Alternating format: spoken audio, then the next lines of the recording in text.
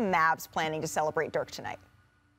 Well, actually, if you could probably hear, I'm in the concourse right now. They're practicing um, right out on the court. So if you hear that sound, that's them practicing for the ceremony. I'm also, like I said, in the concourse where they'll have a setup of a memorabilia museum dedicated to Dirk. There are eight different sections, including game balls, jerseys, trophies. I'm in front of the game worn shoes here, which also include uh, game six of the 2011 final. So that's going to be really cool for fans. Uh, who will be in attendance. They're actually opening the doors up early so they can take a walk around the concourse and check out the memorabilia, which I'm, I'm told they had to go to Dirk's house this morning to get some key items. Wow. So it's going to be really, really cool exclusive stuff. Also, fans are getting one of 10 bobbleheads. This is um, Dirk from his rookie year. He's missing that, you know, uh, famous uh, earring he had uh, during, the, during the draft.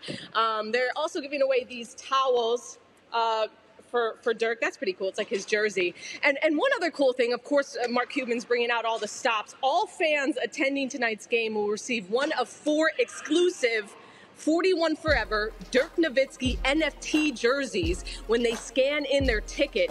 Um, no, the Mavs have been giving away NFTs at home games, but these are only exclusive to tonight and to his jersey retirement. So that's that's pretty cool there.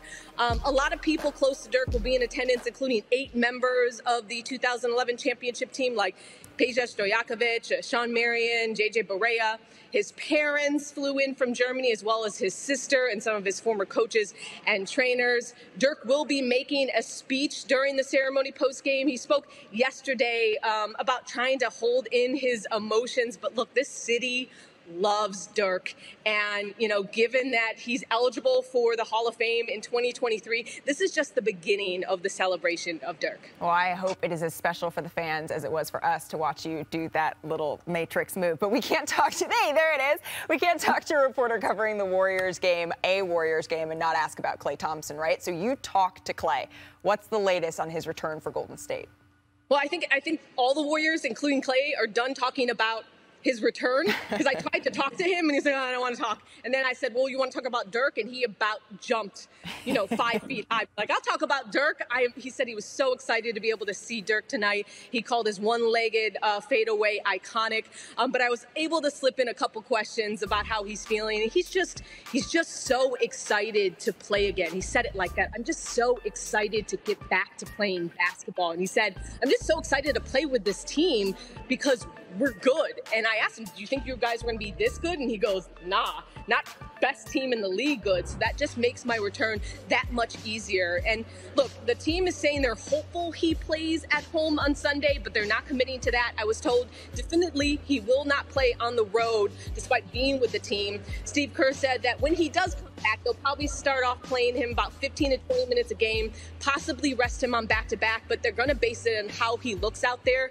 And so far, what I'm being told is that he looks great in practice. Steve says his conditioning is great, but there's nothing like game speed. But this team is excited. Klay's excited, and it's going to be a celebration in its own right when he takes the court. You have to imagine those Chase Center fans when they get to see Klay, they are going to be excited. And you can see Cassidy on the call tonight with Dave Pasch and Jeff Van Gundy at 7:30 Eastern, 6:30 Pacific. Thank you so much, Matrix Cassidy, coming back. Thank you so much. Oh man, I don't know if I could do that. Can I? No, don't, don't, don't. Uh, okay, well I was gonna try.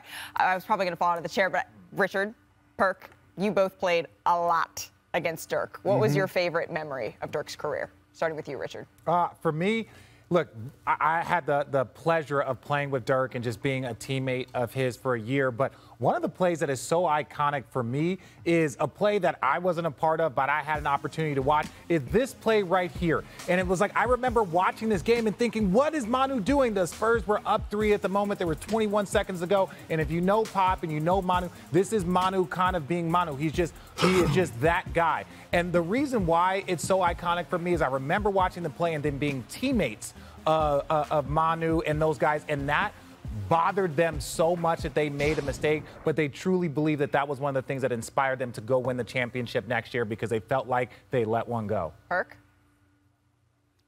Well, with me, I know I caught 500 of those 30,000 plus points. He, he gave me 500 Probably more. But I have to say it was in 2000. Yeah, probably so, but this is my moment, so shut up. so, you know, when, when we're talking about, hey, look, right here, 2012, you know what I mean? Getting into a little scuffle with a Hall of Famer. This is what, hey, this is what the playoffs all about. You see it? You see it? What's up, Dirk? What you talking about? Yeah. I, I think yeah. that maybe I think you're, Yeah. you might be saying you might have been saying a little more than that. Uh huh. Do you have Uh-huh, muscle in uh-huh. that? Is that Yeah. muscle I see? Is that muscle I see? Because right now I can't tell where your beard starts and where it stops. Oh my good, Richard. Look, I don't even know. Richard I is now even in. tell. Richard's in timeout. Thanks for watching E ESPN on YouTube. For live streaming sports and premium content, subscribe to ESPN Plus.